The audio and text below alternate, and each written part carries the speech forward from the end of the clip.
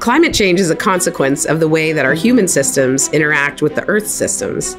The accumulation of decisions we've made to support a growing population has caused the pace of climate change to accelerate. This temperature change is happening at a really fast rate. That's a rate that doesn't allow species to adapt to that changing climate.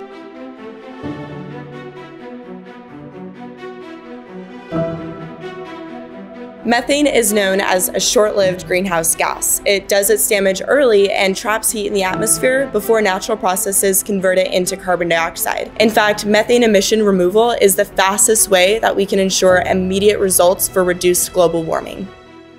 One of the biggest anthropogenic or human associated sources of methane are agricultural practices and waste generation. They're responsible for about 28% of total methane emissions, and agriculture specifically is thought to contribute around 110 million metric tons of methane annually. It's a huge number.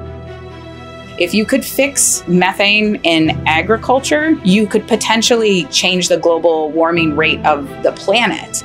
This is why we're focused on methane conversion into carbon dioxide.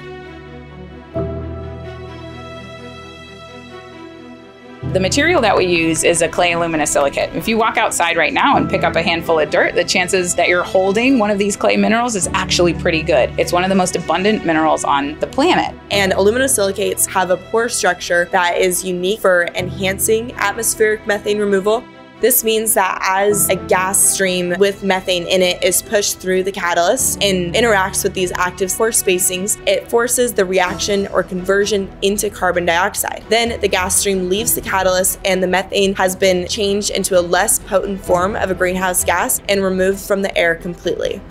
When we invented this catalyst, we knew that it could work at atmospheric levels, but it made a lot more sense to go somewhere where the methane was just slightly enriched, and that's what brought us to dairy barns.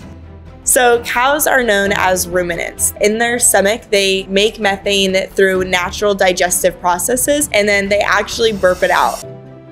Our work at Dairy Farms aims to not only see how we can apply the catalysts to treat the methane, but also to better understand and quantify the amount of methane in these dairy farms. This is where the methane measurement is being read and we're able to see. We use canisters to take air samples and then we bring it back to the lab in order to further analyze what the methane concentrations are.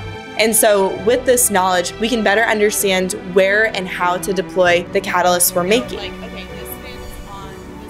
There's lots of different ways you could imagine deploying this. Just like you might change the filter on an air filtration system in your home, you could imagine dropping a filter in a fan that's moving air at a dairy barn. You could also imagine a big reactor that maybe looks like a corn silo, so it's compatible with the aesthetic of the place. If we do our job really well within the next five years, we would be able to reduce the operating temperature of this catalyst in a way that is net beneficial to the climate and potentially even economically incentivized for the farmer and for society. I think secondarily, what we really need people around the world doing right now is thinking about ways to reduce methane emissions at the point of formation. Is there something we can add to their food to disrupt that microbial production of methane while still preserving the animal's ability to thrive?